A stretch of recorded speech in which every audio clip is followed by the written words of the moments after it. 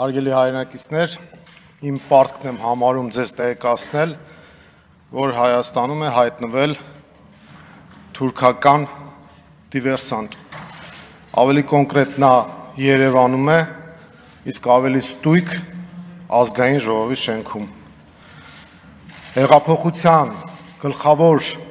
ձեռքբերումներից մեկը հայտարարած փաստը համաձայն որի ազգային ժողովի դռները բաց են ժողովրդի առաջ։ Իրականում մենք տեսանք, որ այդպես չէ, ազգային ժողովի դռները զոդվեցին ժողովրդի առաջ, բայց օրերս ազգային ժողովի դռները լայն բացվել են թուրքական ռոպագանդայի ակտիվ լոբիստ եւ ներկայացուցիչ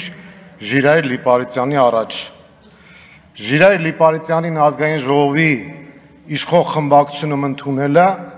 Դա շատ ված մեսիջ է առայն, որ Հայաստանի համար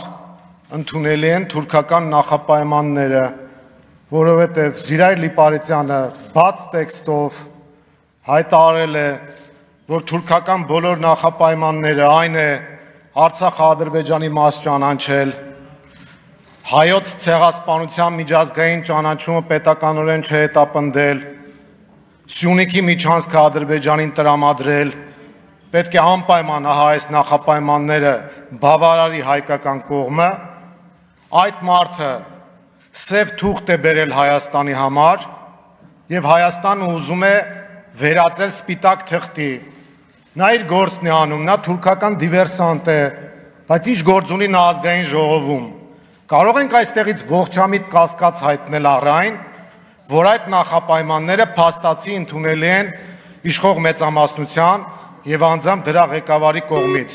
Սա անընդունելի է։